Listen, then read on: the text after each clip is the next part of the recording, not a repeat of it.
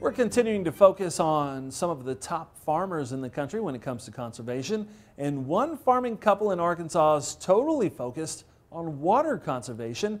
And how they do it has earned them a Regional Conservation Legacy Award from the American Soybean Association. The American Soybean Association Conservation Legacy Awards are brought to you by Valent USA. Real, actionable, sustainable. Valent USA is committed to helping growers meet the demand for sustainably grown crops.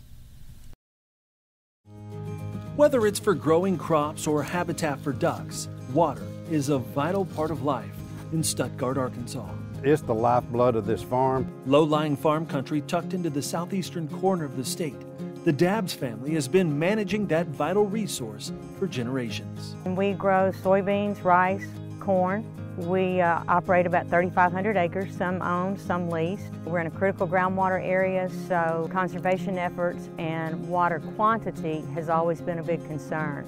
To help, the family added storage via reservoirs as a way to capture water and save it for use during the growing season. The alluvial aquifer on this farm disappeared in the mid 70s. So the reservoirs became our prime source of irrigation in that time frame. But even that wasn't enough.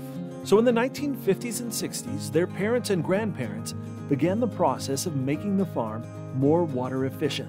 They enclosed all of the open air canals, opting to run piping from field to field. Where we can pump in and out of our reservoirs, our tailwater ditches, and co collect all the water that comes off of our farm to put it back in our system to reuse again. We don't want to be you know, putting any more fertilizers or, or water on these fields than, than are necessary. You know, we're not out here trying to just flood, flood, flood, and do things like that. We want to conserve uh, resources as much as anybody. They're also implementing minimum tillage, cover crops, and measuring runoff. To test the water leaving our farm for nitrogen, phosphorus, and sediment. And we have found out that there is very, very little of any of those leaving our farm.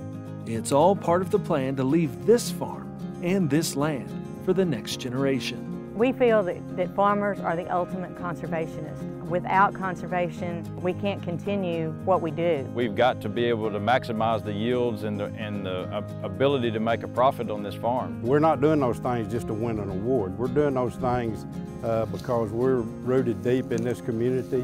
Which is why, after all of these years, they're still focused on continuous improvement. I hope we can use this and let other people see what maybe we're doing and, and, maybe even people will contact us and say, hey, maybe here's something you need to try. Congratulations to the Dabbs family, a regional winner for the American Soybean Association's Conservation Legacy Award.